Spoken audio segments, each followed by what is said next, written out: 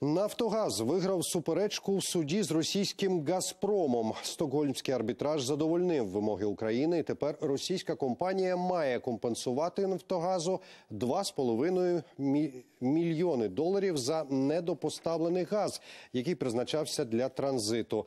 Але при цьому суд врахував ще відсотки за кожен день відстрочки. Тож у сумі Газпром має перерахувати понад 4,5 мільярди доларів. Загалом у стокгольмському арбітражі розглядали дві суперечки між компаніями. Нафтогаз хотів ще перерахунку тарифу для транзитного газу, але суд у цьому питанні відмовив. Мовляв, такі вимоги не відповідають контракту.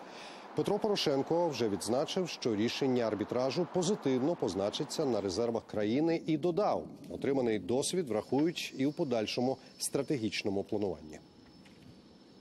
Україна виграла 4 мільярда 600 мільйонів доларів Сполучених Штатів Америки.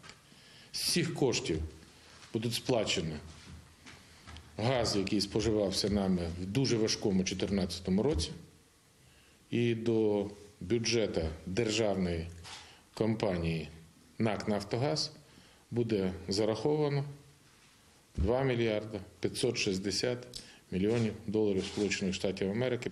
Я ще раз хочу привітати з цим переконливою перемогою е, всіх українців. Це для нас надзвичайно важливо. Сьогодні це є і укріплення золотовалютних резервів, і е, 100% позиція по вірності нашої енергетичної стратегії. І після рішення стокгольмського арбітражу Газпром повернув Нафтогазу передоплату за газ. Очевидно, що поставки газу з 1 березня для України здійснюватися не будуть.